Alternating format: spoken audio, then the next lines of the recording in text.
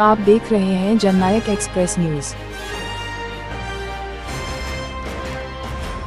अयोध्या में महिला आरक्षी के साथ सरयू एक्सप्रेस में हुई दुराचार एवं जानलेवा हमले के आरोपियों को मुठभेड़ के दौरान एसटीएफ ने गिरफ़्तार किया है। एसटीएफ ने इनके ऊपर एक लाख का इनाम घोषित किया था। आरोपियों की शिनाख्त महिला आरक्षी ने स्वयं की थी। आरोपियों ने महिला के साथ बर्बरता करते हुए उस पर चाकू से कई बार कर लूटपाट की थी। एसटीएफ ने घटना का खुलासा करते हुए बताया कि मुठभेड़ के दौरान अनीश खान की मौत हो गई। लोकल इंटेलिजेंस की मदद से उनकी पहचान की गई। जब उन्हें गिरफ़्तार करने का प्रयास किया गया तो वह पुलिस टीम पर फायरिंग करने लगे। पुलिस ने मुठभेड़ के दौरान दो अन्य आरोपियों को गिरफ़्तार किया है, जिन्होंने घटना की बात स्वीकार की है। देखिए दिनांक देखिए दिनांक उनतीस तीस की रात में सरयू एक्सप्रेस ट्रेन में एक महिला हेड कांस्टेबल को इंजर्ड करने का प्रकरण हुआ था जिसमें थाना क्षेत्र अयोध्या कैंट जीआरपी में एक मुकदमा दर्ज किया गया था। अंतर्गत धारा 332, 307, तीन सौ चौवन ख में दर्ज किया गया था। दौरान विवेचना इसमें धारा तीन सौ चौरानवे की प्रगति हुई थी। इसी क्रम में एसटीएफ की टीम्स लगी हुई थी। जिला पुलिस के साथ कई सूचनाएँ साझा हो रही थी। इसी क्रम में कई टेक्निकल और मैनुअल इनपुट्स के हिसाब से एसटीएफ की टीम ने जो विक्टिम थी उनको एक फ़ोटो की पहचान करवाई थी जिसके बेसिस पे फर्दर डेवलप करते हुए अयोध्या पुलिस के साथ उन्होंने सूचना साझा की थी। इसी क्रम में आज एक सूचना में अयोध्या पुलिस की टीम और एसटीएफ की टीम ने थाना क्षेत्र इनायत नगर में एक जगह पर रेड करके अभियुक्तों की गिरफ्तारी का प्रयास किया था, जिसे क्रम में अभियुक्तों के द्वारा पुलिस टीम पर फायरिंग की गई, जिसमें आत्मरक्षार्थ पुलिस फायरिंग में पुलिस टीम दो अभियुक्तों को गिरफ़्तार कर पाई, जो कि मौके पर इंजर्ड हो गए थे। एक अभियुक्त मौके से फायरिंग करते हुए भाग गया था। उस उक्त अभियुक्त के लिए कॉर्डन एंड सर्च ऑपरेशन चलाया गया, जिसमें एसटीएफ और पुलिस की टीम लगातार लगी रही। उस उक्त अभियुक्त को थानापुरा के लंदर क्षेत्र में दोबारा पुलिस के द्वारा चिन्हित किया गया, उसको आत्मसमर्पण के लिए कहा गया जिसके क्रम में उसके द्वारा पुलिस के ऊपर फायरिंग की गई, जिसके उसमें आत्मरक्षात पुलिस के द्वारा फायरिंग में उक्त अभियुक्त को गोली लगी थी, जिनको इलाज के लिए तत्काल जिला अस्पताल लाया गया। जिला अस्पताल इलाज के दौरान एक अभियुक्त अनीश खान सन ऑफ़ रियाज खान, रहने वाला जो हैदरगंज थाना क्षेत्र का है, उसकी मृत्यु हो गई है। दो अभियुक्त आजान, आज़ाद सन ऑफ़ मुख्तार जो कि हैदरगंज का रहने वाला है, और बिशंबर दयाल सन ऑफ़ प्रेम नारायण, जो कि कूड़े भार सुल्तानपुर का रहने वाला है। ये दोनों इंजर्ड है अंडर ट्रीटमेंट है। बाकी जो भी डिटेल्स होंगी, उससे आप लोगों को अवगत करवाया जाएगा। एसटीएफ और जिला पुलिस की टीम दोनों यहाँ पे लगे हुए हैं, और डॉक्टर से बेहतरी इलाज का किया जा रहा है। जैसे प्रगति होती है, आप लोगों को अवगत करवाया जाएगा। ठीक है? जी, घटना में हमारे एक पुलिसकर्मी भी घायल हुआ है, जिसका इलाज चल रहा है, और उसको हम बेहतर मेडिकल सुविधा, सभी को सबसे अच्छी बेहतर मेडिकल सुविधा उपलब्ध करवाई जा रही है। बाकी डिटेल आपको अवगत करवाई जाएगा आप सभी अवगत हैं कि 30 अगस्त को सरयू एक्सप्रेस में एक महिला कांस्टेबल के ऊपर प्राण घातक हमला हुआ था। इसके लिए मुख्यालय स्तर पे भी टीमें बनाई गई थी। शुरुआती विवेचना क्योंकि ये जीआरपी का जो शिक्षण था, उसने प्रारंभ किया। शासन ने इस प्रकरण को काफ़ी गंभीरता से लिया। इस पे विवेचना एसटीएफ को ट्रांसफ़र की गई। लेकिन हमारी रेलवे की टीम और स्थानीय टीम स्थानीय पुलिस, अयोध्या ज़िले की तथा अयोध्या रेंज की तथा गोंडा जनपद की टीमें भी लगातार इस पर वर्क कर रही थी।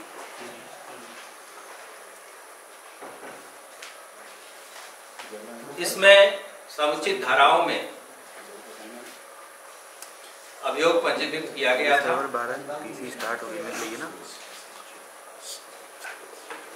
तथा विवेचना के दौरान इसमें तीन सौ चौरानवे, तथा तीन सौ पाँच सौ चार ख आईपीसी की वृद्धि भी की गई थी।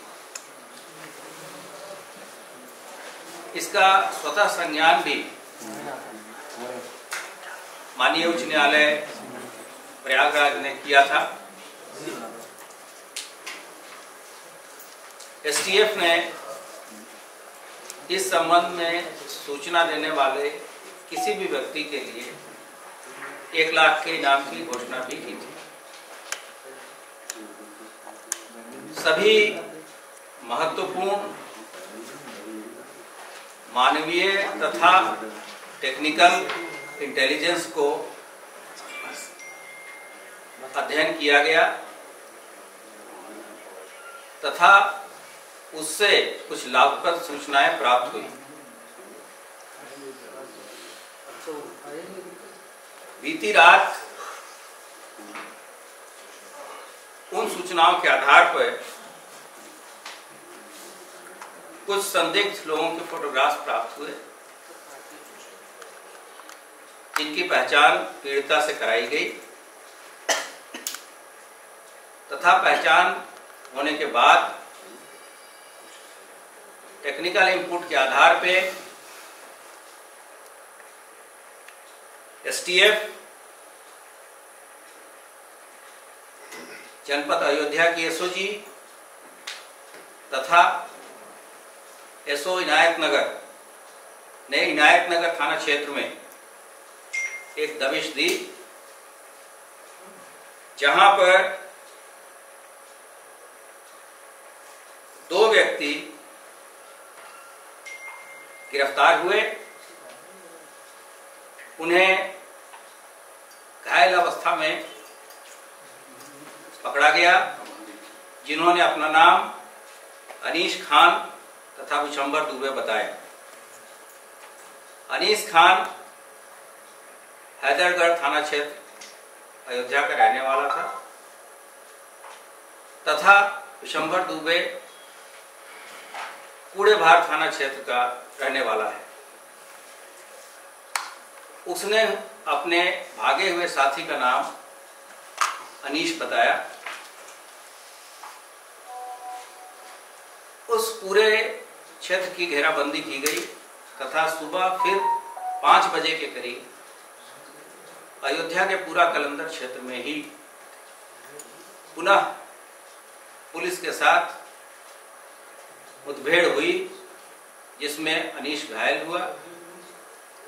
जिसे स्थानीय अस्पताल में ले जाया गया, जहाँ इलाज के दौरान उसकी मृत्यु हो गई। इस प्रकार इस पूरे पुलिस ऑपरेशन में तीन लोग मिले, जिसमें दो घायल अवस्था में गिरफ़्तार किए गए तथा एक व्यक्ति की इलाज के दौरान मृत्यु हो गई। जो पुलिस के ऑपरेशन में घायल हुआ था। इन लोगों का, तीनों अपराधियों का आपराधिक इतिहास भी रहा है। अनीश के ऊपर छह मुकदमे। आज़ाद के ऊपर बारह मुकदमे। तथा विशंबर के ऊपर तीन मुकदमे दर्ज हैं। ये लोग ट्रेन में भी अपराध करते थे तथा इन्होंने लूटपाट के दौरान जो पूछताछ हुई है, उसके हिसाब से महिला हेड कांस्टेबल को अकेला देख के अपने दो साथियों के साथ उस पर हमला किया। जिसके दौरान महिला हेड कांस्टेबल को चोट पहुँची थी। और इन लोगों ने अयोध्या स्टेशन पहुँचने के पूर्व ही ट्रेन धीरी हुई, धीमी हुई थी। इन्होंने बताया कि किसी ने संभवतः चेन पुलिंग की थी। चेन पुलिंग के कारण ये उतर के चले गए थे। इसके दौरान इस पूरे विवेचना और सफल अनावरण हेतु जो टीमें लगी थी, उनके द्वारा एकत्रित किए गए साक्ष्यों के आधार पर यह स्पष्ट हो गया था कि जो जो चीज़ें इन्होंने पकड़े जाने के बाद बताई हैं, उनका मूवमेंट उसी तरीके से हुआ है। इस प्रकार एक चुनौतीपूर्ण घटना का सफल अनावरण उत्तर प्रदेश पुलिस के विभिन्न इकाइयों ने साथ मिलकर किया है। अब इनका, इनको सजा दिलाने की आगे की प्रक्रिया हम लोग के द्वारा की जाएगी।